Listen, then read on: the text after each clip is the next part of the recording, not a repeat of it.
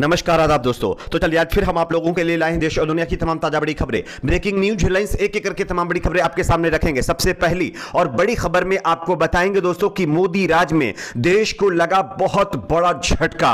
यहाँ पर लगभग दो करोड़ से ज़्यादा देशवासियों को बड़ा झटका लगा है। किस तरह से, किस मामले पर इसकी जानकारी आगे आपको विस्तार से देंगे। साथ ही साथ अगली बड़ी खबर में बात करेंगे दोस्तों की देश के प्रधानमंत्री नरेंद्र मोदी को सौ से ज़्यादा पूर्व नौकरशाहों ने लिखी चिट्ठी। देश में बढ़ती नफरत को लेकर के ये चिट्ठी पीएम मोदी को लिखी गई है। इसमें जो बातें कही गई हैं, वो काफ़ी शॉकिंग है। क्या है? पूरी जानकारी आगे देंगे साथ ही साथ। अगली खबर में बात करेंगे दोस्तों कि हरिद्वार के अंदर हुई धर्म संसद के बाद अब रुड़की में एक और धर्म संसद होने वाली थी, जिस पर बताया जा रहा है कि पाबंदी लगाने का मामला सामने आ रहा है। यहाँ पर बताया जा रहा है कि रुड़की के अंदर जो है हिंदू संगठनों के द्वारा की जाने वाली धर्म संसद को बैन कर दिया गया है। किस तरह से इस पर भी जानकारी देंगे साथ ही साथ अगली खबर में बात करेंगे दोस्तों। रमज़ान के महीने के बीच मेरठ में हिंदूवादी संगठनों का लगातार तांडव जारी है। यहाँ पर पुलिस वालों से भिड़ते हुए एक और वीडियो हिंदू संगठन के कार्यकर्ता और नेताओं का वायरल हो गया है। क्या इसमें कहा गया है यह भी आपको दिखाएँगे साथ ही साथ अगली बड़ी खबर में। बात करेंगे दोस्तों की नागरिकता संशोधन कानून को लेकर के देश के गृह मंत्री अमित शाह और उनके मंत्रालय की तरफ़ से बड़ा ऐलान किया गया है। किस तरह से यह भी आपको बताएँगे, साथ ही साथ अगली बड़ी खबर में बात करेंगे दोस्तों। सामान नागरिक संहिता, जो कानून मोदी सरकार नया बनाने वाली है, उसके खिलाफ भयंकर विरोध शुरू हो गया है। किस तरह से इसकी भी जानकारी देंगे साथ ही साथ अगली बड़ी खबर में बात करेंगे दोस्तों की उत्तर प्रदेश के अंदर योगी प्रशासन का बड़ा ऐलान। योगी सरकार ने सात मदरसों को लेकर के बड़ा ऐलान किया है। क्या ऐलान है यह भी आपको बताएँगे साथ ही साथ अगली बड़ी खबर में बात करेंगे दोस्तों आज़म खान को जेल से छुड़वाने के लिए योगी सरकार को बताया जा रहा है कि एक लेटर मुस्लिम पर जो है धर्म गुरुओं की तरफ़ से लिखा गया है। इसमें क्या कहा गया है, इस पर भी जानकारी देंगे उससे पहले छोटी छोटी वीडियो को लाइक करके ज़्यादा से ज़्यादा शेयर करिए चैनल को सब्सक्राइब करके बेलाइकन को ज़रूर प्रेस कर लीजिए। बात करेंगे पहली और बड़ी खबर की। वैसे हमारे देश में जब से मोदी सरकार सत्ता में आई है, तब से देश को विकास की राह पर ले जाने का दावा करती है। लेकिन मोदी सरकार के इस दावे को पोल खोलती हुई, इस दावे की पोल खोलती हुई एक और ताज़ा रिपोर्ट सामने आई है। हम आपको दिखाना चाहते हैं, आप देख सकते हैं, राहुल गांधी ने एक खबर को ट्वीट किया जो कि दैनिक भास्कर की है। इसमें साफ़ तौर पर कहा गया है कि पाँच साल में 2.1 करोड़ जॉब घट गए हैं, जबकि 45 करोड़ लोगों ने जॉब की तलाश ही छोड़ दी है। इसके बाद शॉकिंग बात तो यह है कि महिलाओं की स्थिति बद से बदतर होती जा रही है। महिलाओं की अगर जॉब के बारे में बात करें तो इस रिपोर्ट में कहा गया कि महिलाओं की स्थिति सबसे खराब है। सिर्फ़ नौ प्रतिशत महिलाओं के पास या तो काम है या फिर वो काम की तलाश कर रही हैं। अब आप सोचिए, विकास की गंगा बहाने वाली सरकार के प्रशासन में में, उनके शासन में, उनके राज में किस तरह से जॉब्स लगातार घट रही है, महँगाई लगातार बढ़ रही है, ये आपके सामने है। बात करेंगे अगली खबर की। अगली बड़ी खबर दोस्तों, आ रही देश में बढ़ती नफरत के बीच देश के प्रधानमंत्री नरेंद्र मोदी को सौ से ज़्यादा नौकरशाहों ने लेटर लिखा है। आप इस खबर को देख सकते हैं। सौ से अधिक पूर्व नौकरशाहों ने प्रधानमंत्री नरेंद्र मोदी को पत्र लिखकर के उम्मीद जताई है कि वह नफरत की राजनीति को समाप्त करने का आह्वान करेंगे और भारतीय जनता पार्टी के नियंत्रण वाली सरकारों में कथित तौर पर इस पर कठोरता से ज़ोर दिया जा रहा है।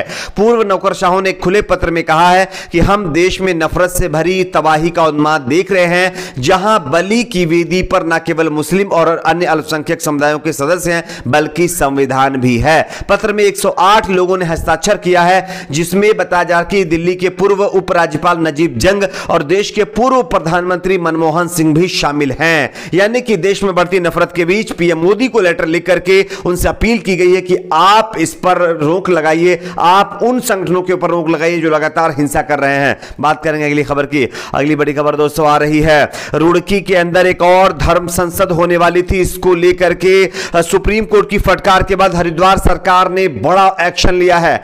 आप इस खबर को देख सकते हैं, इससे पहले हरिद्वार में एक धर्म संसद हुई थी, जिसमें भारी बवाल हो गया था। उसके बाद खबर आ रही है कि उत्तराखंड के रुड़की में बुधवार, यानी कि आज धर्म संसद लगने वाली थी, जिसको लेकर के सुप्रीम कोर्ट ने चेतावनी दी थी।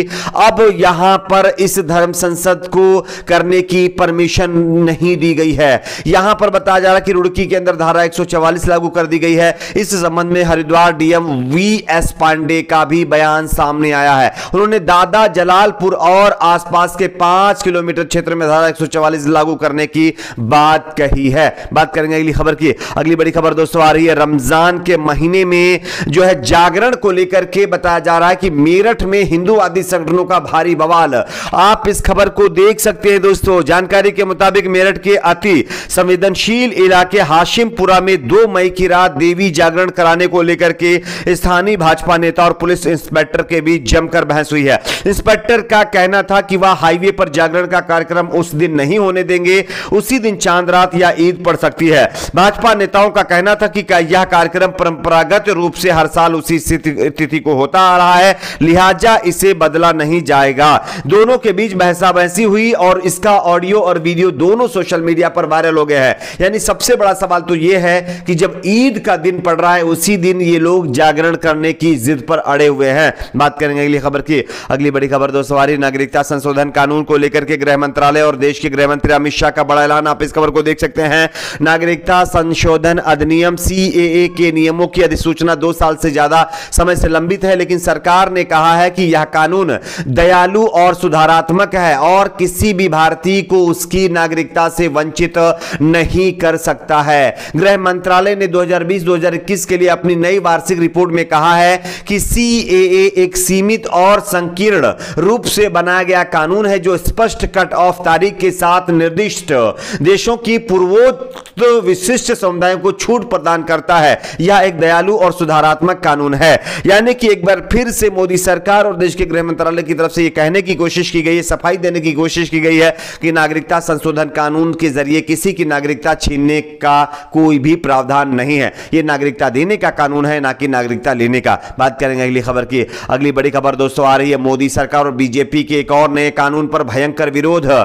आप इस खबर को देख सकते हैं दोस्तों। जेडीयू, जो कि एनडीए में शामिल है, उसने जो है जिस तरह से देश में समान नागरिक संहिता कानून लागू करने की बात बीजेपी सरकारें कर रही हैं, उसके खिलाफ मोर्चा खोल दिया है। आप इस खबर को देखिए। जदयू के वरिष्ठ नेता व शिक्षा मंत्री विजय कुमार चौधरी ने मंगलवार को कहा है कि समान नागरिक संहिता को देश में आम सहमति के बगैर लागू करना ठीक नहीं है। अभी देश में इस मुद्दे पर आम सहमति नहीं है। जेडीयू प्रदेश कार्यालय में आयोजित जन सुनवाई कार्यक्रम के बाद संवाददाताओं से बातचीत के क्रम में उन्होंने यह बात कही है। बात करेंगे अगली खबर की। अगली बड़ी खबर खबर दोस्तों, उत्तर प्रदेश से आ रही जहाँ पर उत्तर प्रदेश की योगी सरकार ने मदरसों को लेकर के बड़ा ऐलान कर दिया है।